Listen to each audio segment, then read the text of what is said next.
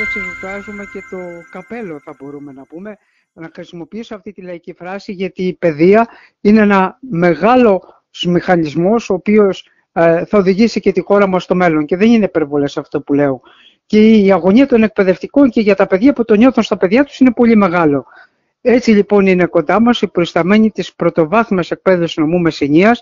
Την ευχαριστώ πάρα πολύ την κυρία Θεοφανία Σιουδή που πάρα πολλά χρόνια έχει βρεθεί στα δημοτικά σχολεία, γνωρίζει τα προβλήματα και της Μεσσηνίας των δημοτικών σχολείων και αγαπάτε και τα παιδιά κυρία Σιουδή από ό,τι ξέρω. Καλημέρα σας καταρχάς. Καλημέρα, καλημέρα κύριε Μποζίκα. Καλημέρα στους ακροατές σας.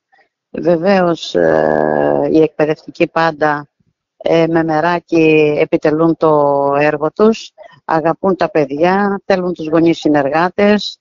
Είναι γεγονός ότι έχω υπηρετήσει πάρα πολλά χρόνια, 35 χρόνια στα σχολεία της Τριφυλίας, γνωρίζω από κοντά τα προβλήματα. Ε, και σε ό,τι αφορά τη φετινή χρονιά μπορώ να πω ότι ξεκινήσαμε αρκετά καλά, είχαμε μόνιμους διορισμούς, είχαμε προσλήψεις αναπληρωτών ε, πολύ ε, νωρίτερα από τις προηγούμενες χρονιές. Τέλος Αυγούστου είχαν, ε, είχαμε πάρει και την πρώτη φάση αναπληρωτών. Υπάρχουν τώρα κενά. Στις προσεχείς μέρες υπάρχουν κάποια κενά τα οποία έχουν δημιουργηθεί από τις άδειες ναι. ε, από άδειες περισσότερο των εκπαιδευτικών. Τρέχει το πρόγραμμα πρόσληψης της δεύτερης φάσης και υπολογίζομαι ότι πολύ σύντομα ε, θα έχουμε και τη δεύτερη φάση να καλύψουμε τα κενά τα οποία έχουν δημιουργηθεί. Ναι, και αυτό είναι ιδιαίτερα σημαντικό.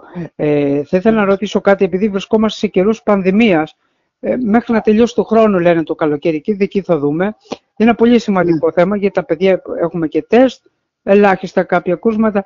Ε, ε, έχετε ναι. κάνει μια πολύ μεγάλη δουλειά σε αυτό το θέμα και δίνετε καθημερινά κατευθύνσεις στα σχολεία. Ε, θα ήθελα να μου πείτε λίγο συμβουλές και προς τους γονείς που μας ακούνε, έτσι, τι πρέπει να κάνουν. Γιατί η πιο, η, η, βεβαίως η πιο σημαντική συμβολή έχει κάνει αρκετή δουλειά και το Υπουργείο Παιδείας και η συμβολή η δική μου προς τους γονείς και προς τους εκπαιδευτικούς είναι ότι όλοι θα πρέπει να τηρούμε πιστά το υγειονομικό πρωτόκολλο. Η χρήση της μάσκας πλέον έχει περάσει στα παιδιά, έχει γίνει στάση ζωής, ε, οι αποστάσεις, ε, όλα αυτά τα οποία πρέπει να τηρούν για να εξασφαλίσουμε τη, διαδο... τη διαζώση στη διδασκαλία η οποία δεν μπορεί να υποκαταστήσει